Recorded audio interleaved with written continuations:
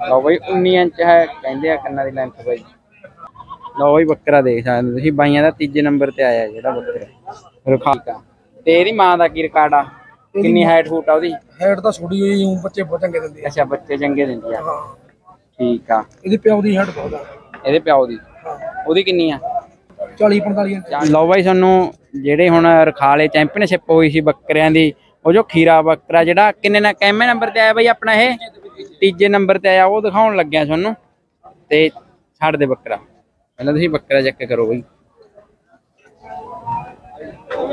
ਇਹਦੀ ਕੰਨਾਂ ਦੀ ਲੈਂਥ ਕਿੰਨੀ ਆ? ਇਹ ਹੈਗੇ 19 19 ਇੰਚ? ਠੀਕ ਆ ਜੀ। ਖੀਰਾ ਹੈ ਨਾ ਖੀਰਾ ਬੱਚਾ? ਠੀਕ ਆ। ਤੇ ਇਹ ਤੀਜੇ ਨੰਬਰ ਤੇ ਆਇਆ ਆਪਣੇ ਰਖਾਲੇ ਹਨਾ? ਮੁਕਾਬਲੇ ਹੋਏ ਸੀ ਜਿਹੜੇ ਚੈਂਪੀਅਨਸ਼ਿਪ ਚੋਂ ਠੀਕ ਆ। ਕੀ ਨਾਂ ਗਾ ਜੀ ਤੁਹਾਡਾ? ਜਗਸੀਰ ਸਿੰਘ। ਕਿਹੜਾ ਪਿੰਡ ਹੈ ਜੀ?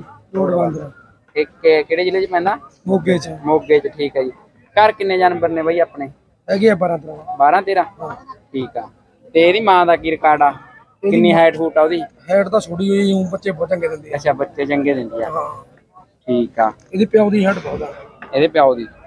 ਉਹਦੀ ਕਿੰਨੀ ਆ? ਕਿੰਨੇ ਆ? 40 45 ਇੰਚ 40 45 ਹੋਏ ਦੀ ਕਿੰਨੀ ਹੋ ਗਈ? ਇਹ ਮੁਕਾਬਲੇ ਦੇ ਵਿੱਚ ਕੀ ਕੀ ਦੇਖਿਆ ਜਾਂਦਾ ਜੀ? ਕੰਨ। ਕੰਨ ਦੇਖੇ ਜਾਂਦੇ ਇੱਕ ਦਾ ਠੀਕ ਆ।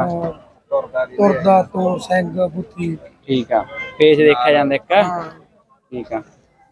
ਜਿਵੇਂ ਤੀਜੇ ਨੰਬਰ ਤੇ ਆਇਆ ਹੋਇਆ ਹੈ। ਤੇ ਸੇਲ ਤਾਂ ਨਹੀਂ ਕਰਨਾ? ਨਹੀਂ। ਕਰੀ ਰੱਖਣਾ। ਠੀਕ ਆ ਤੋਰ ਕੇ ਦਿਖਾਵਾਂਗਾ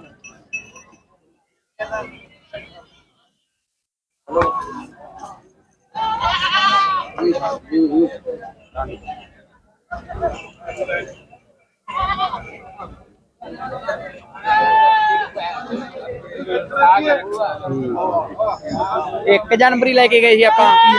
ਠੀਕ ਆ। ਉਹੀ ਆਪਣਾ ਤੀਜੇ ਨੰਬਰ ਤੇ ਆ ਗਿਆ ਨਾ। ਠੀਕ ਆ। ਕੰਨ ਦਿਖਾਈ ਬਈ ਐਂ ਨੂੰ ਕਰਕੇ ਮਾੜੇ ਜਿਹੇ। ਲਓ ਬਈ 19 ਇੰਚ ਹੈ ਕਹਿੰਦੇ ਆ ਕੰਨਾਂ ਦੀ ਲੈਂਥ ਬਈ। ਤੇ ਪਿੰਡ ਆਪਣਾ ਕਿਹੜਾ ਦੱਸਿਆ ਸੀ? ਰੋਡ ਬੰਦਰ ਜੀ। ਠੀਕ ਹੈ ਜੀ। ਲਓ ਬਈ ਬੱਕਰਾ ਦੇਖ ਸਕਦੇ ਤੁਸੀਂ। ਬਾਈਆਂ ਦਾ ਤੀਜੇ ਨੰਬਰ ਤੇ ਆਇਆ ਜਿਹੜਾ ਬੱਕਰਾ। ਰਖਾਲੇ ਮੇਲੇ ਤੋਂ। ਠੀਕ ਆ ਜੀ।